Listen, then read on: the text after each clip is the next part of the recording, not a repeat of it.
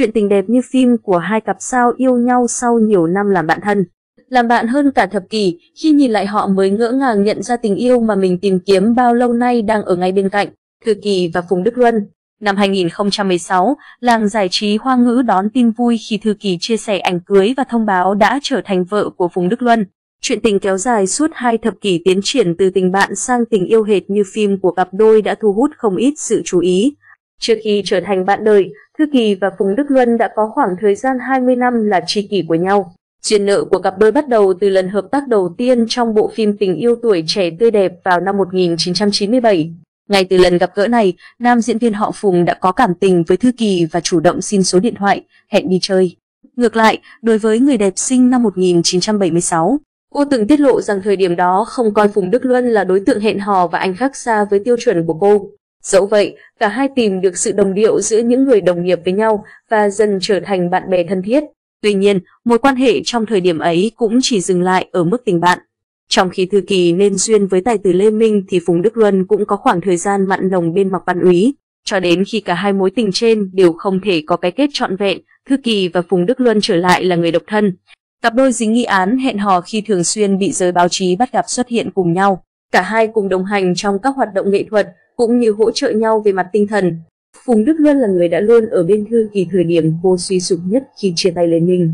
Thế nhưng, những tổn thương từ mối tình trước khiến Thư Kỳ mất niềm tin vào tình yêu nên vẫn luôn giữ tình cảm dừng lại ở mức bạn bè.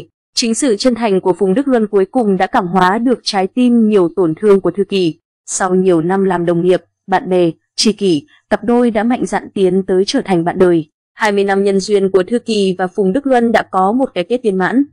Lâm Tâm Như và Hoắc Kiến Hoa Tương tự như người đồng nghiệp cùng tuổi, Lâm Tâm Như cũng có một chuyện tình từ bạn sang yêu đầy thăng trầm không kém. Năm 2005, Lâm Tâm Như và Hoắc Kiến Hoa nên duyên trên màn ảnh qua phim Tàu Điện Ngầm. Sau khi đóng máy, cả hai vẫn giữ liên lạc thường xuyên.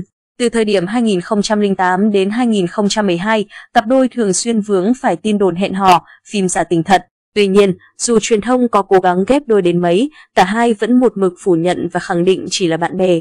Mọi tin đồn cũng nhanh chóng trôi vào quên lãng khi cả hai sau đó cũng đã công khai người yêu. Người đồng hành với Lâm Tâm như khi ấy Lâm Trí Dĩnh, còn Hoắc Kiến Hoa cũng có đoạn tình cảm ngọt ngào với Trần Kiều Ân.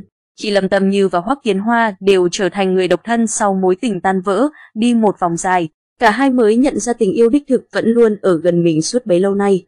Vào ngày lễ tình nhân ở Trung Quốc năm 2016, cặp đôi khiến làng giải trí chấn động khi thừa nhận yêu nhau sau 11 năm làm bạn và sẽ sớm kết hôn vào hai tháng sau.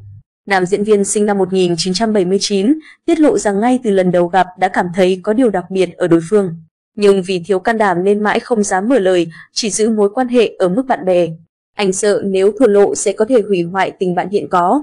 Sau 11 năm, cuối cùng những người được định sẵn sẽ ở bên nhau đã đến với nhau. Lâm Tầm Như và Hoắc Kiến Hoa đã nâng cấp mối quan hệ từ bạn thân sang bạn đời, khép lại một tình bạn đẹp và mở ra một cuộc hôn nhân đầy ấm áp, hạnh phúc.